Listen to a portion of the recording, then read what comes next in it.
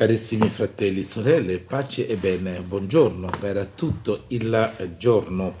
Meditiamo stamattina il Vangelo di Matteo, capitolo 9, versetti 35 a 38, più il capitolo 10, versetto 1.6 a 8.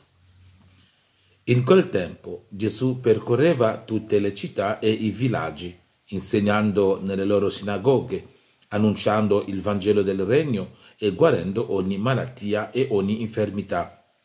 Vedendo le folle ne sentì compassione, perché erano stanche e sfinite come pecore che non hanno pastore. Allora disse ai suoi discepoli, la messe è abbondante, ma pochi sono gli operai. Pregate dunque il Signore della messe perché mandi operai nella sua messe chiamati a sé i suoi dodici discepoli, diede loro potere sugli spiriti impuri per scacciarli e guarire ogni malattia e ogni infermità. Egli inviò ordinando loro, rivolgetevi alle pecore perdute della casa di Israele, strada facendo, predicate, dicendo che il regno dei cieli è vicino. Guarite gli infermi, risuscitate i morti, purificate i lebrosi, scacciate i demoni. Gratuitamente avete ricevuto, gratuitamente date. Parola del Signore. Ecco, siamo nel tempo di avvento e le letture ci portano proprio a distinguere, diciamo a notare la presenza del, del Messia. Cioè, qui parliamo proprio della sua eh, venuta. Allora, ieri Gesù ha guarito due ciechi come eh, simbolo o segno della sua presenza o della presenza del Messia in mezzo al popolo. E oggi Gesù nota qualcosa guardando la folla.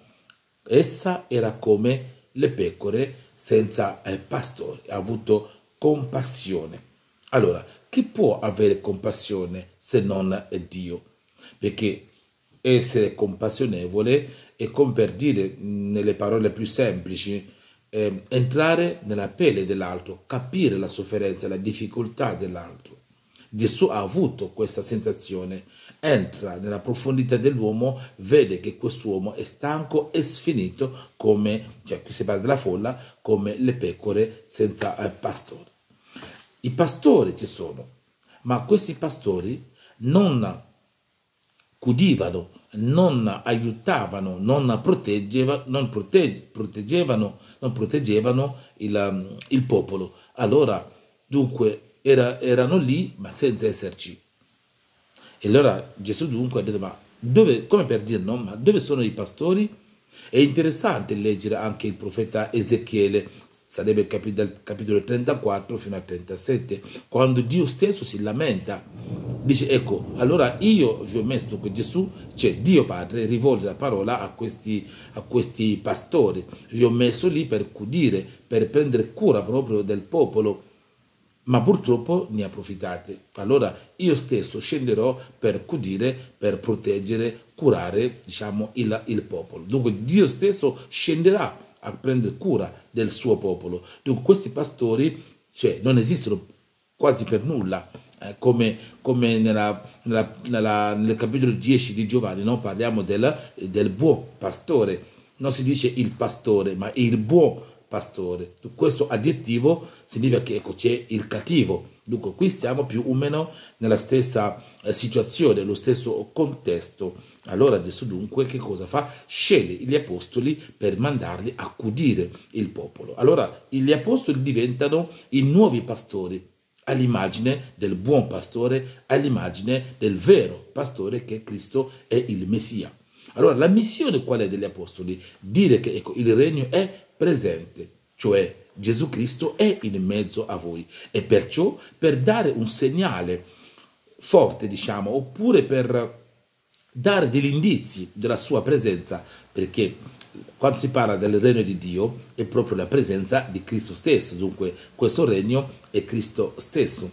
Allora per dare proprio gli indizi, allora ci sono delle guarigioni, come abbiamo detto ieri, guarire queste malattie è proprio dare un segno della presenza del Messia, le malattie che Isaia aveva annunciato. Dunque Gesù dà questo potere agli apostoli per guarire, per dare come una testimonianza che ecco adesso il regno è in mezzo a voi e perciò ha detto quando predicate dite che il regno è in mezzo a voi. Ecco carissimi, per dirci ecco noi è vero ci lamenteremo, andremo in cerca della salvezza, andremo a bussare a qualche volta alle porte sbagliate per cercare una salvezza, Gesù ha detto, lui è in mezzo a noi.